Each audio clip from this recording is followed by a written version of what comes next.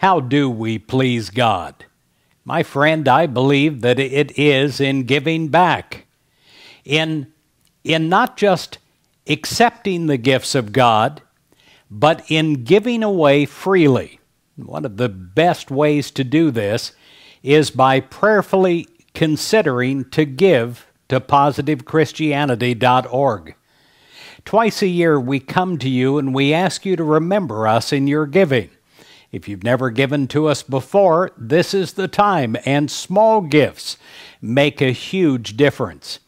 This is the time that we're coming to year's end. So, for credit on this year's giving, I ask you to consider giving to positive Christianity. Here's what it says in 2 Peter 1, verse 3. Everything that goes into a life of pleasing God has been miraculously given to us by getting to know personally and intimately the one who invited us to God, the best invitation that we have ever received. When God created you, God equipped you with an assortment of talents, an assortment of abilities that are uniquely yours. It's up to you to develop these. This is the whole reason we're here is to daily remind you to develop your God-given abilities and to use them in the unique way that God created you you uniquely to do so.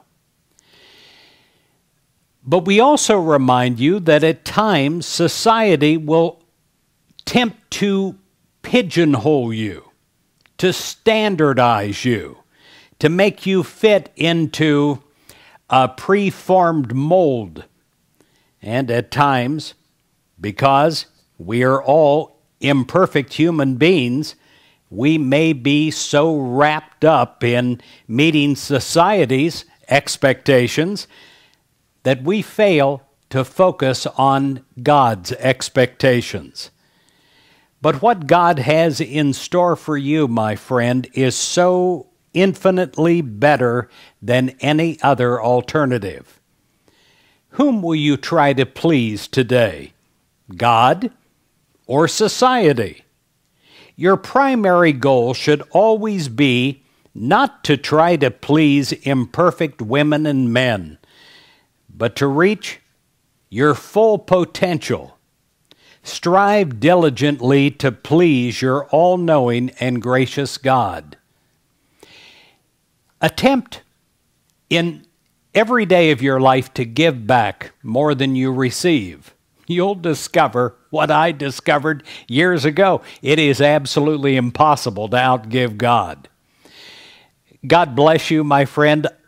And I want to take a moment to thank all those that have already considered giving to positivechristianity.org in the past, that have made this ministry possible for so many all around the world of every faith. That's what makes us unique and different. And for those that have never considered it, I pray with you that you consider giving a little bit to positivechristianity.org to make a big difference. God bless you.